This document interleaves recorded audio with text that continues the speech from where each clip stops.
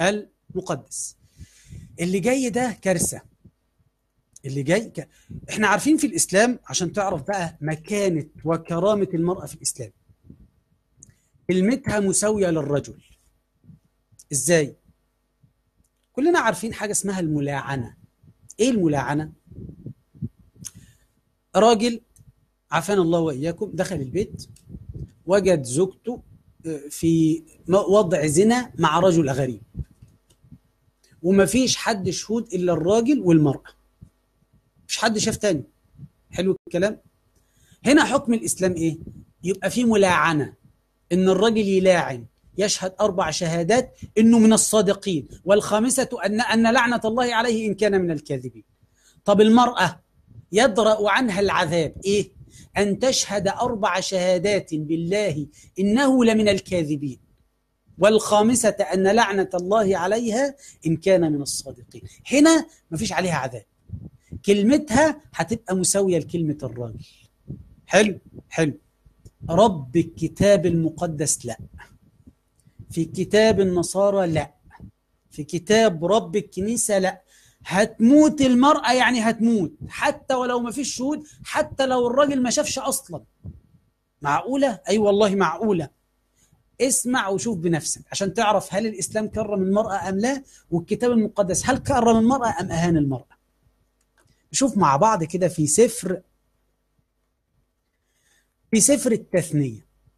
كلام رب النصارى لأنبيائه سفر التثنية صحيح 22 عدد 13 و14 و15 يقول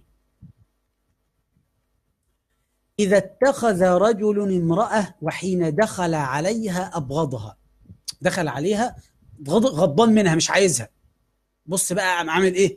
ونسب إلي ونسب إليها أسباب كلام وأشاع عنها اسما رديا اسوء سمعتها.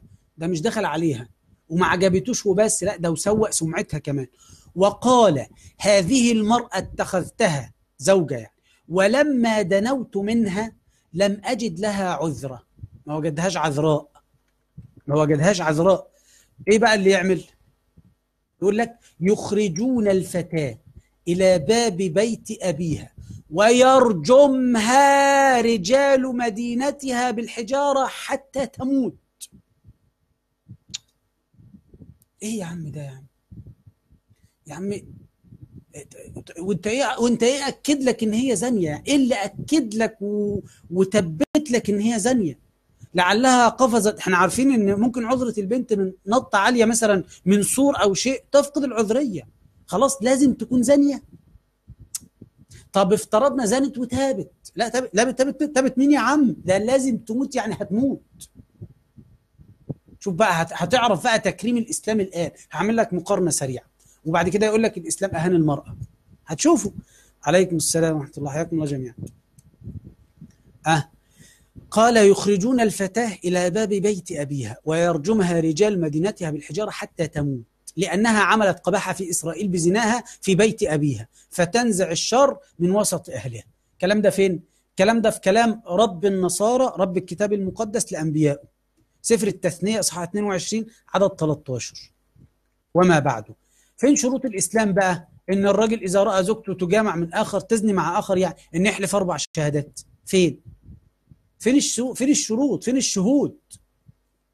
مفيش مفيش الإسلام أنا أسألكم سؤال صغير حتى ولو كافرة فقد كرمها الإسلام صدق حتى ولو المرأة كافرة فقد كرمها أيضا الإسلام دليل يا محمد.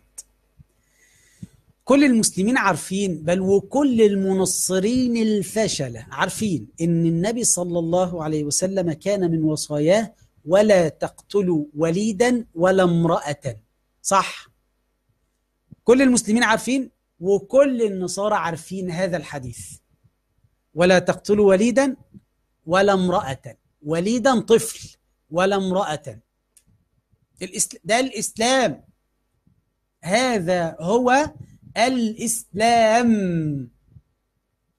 ما تيجي نشوف الكتاب المقدس. أما الكتاب المقدس فتخصص تخصص تام في قتل النساء والأطفال.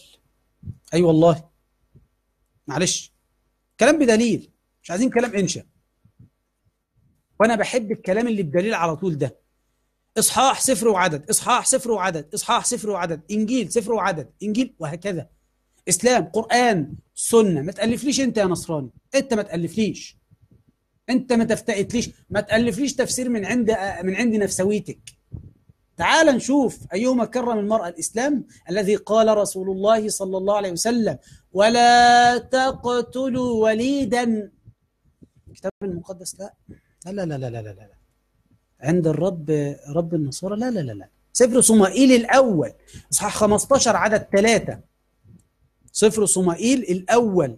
إصحاح 15 عدد عدد ثلاثة. يقول فالآن اذهب واضرب عماليق وحرموا كل ما له ولا تعفو عنهم. بل اقتل. نعم. بل اقتل. رجلا وامرأة امرأة طفلا ورضيعا نعم جملا وحمارا لا لا لا لا لا لا لا لا لا لا لا لا لا لا لا ليه يا عم في إيه ما فيش حد هيتبقى خالص خالص النص ده أنا حاورت فيه بعض المنصرين الكبار بس ما كلمتوش في مسألة امرأة كلمته في مسألة الطفل فقلت له ما ذنب الطفل حتى يقتل من أوامر ربكم؟ فقال لي الطفل آه. قلت له ليه يا عم؟ تقتلوه ليه من أوامر ربكم؟ قال لي عشان هو هيكبر وهيبقى كافر. حول ولا قوة إلا بالله. افترضنا كبر وتاب. يعني إنتوا هتقتلوا ليه الطفل وصغير قال لك عشان هيكبر أيوه وهيبقى كافر. انت بتشم على ظهر إيدك ان شاء الله ولا إيه؟ ما هو اغلب المؤمنين في زمن يسوع كانوا أولاد كفار. اغلب المؤمنين في زمن يسوع ما هم كانوا أولاد كفار. إيه يعني اللي حصل؟ تمام؟